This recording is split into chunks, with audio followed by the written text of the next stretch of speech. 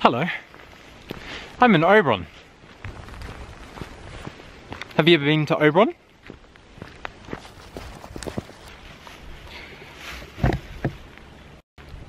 This was a tree plantation. These were trees.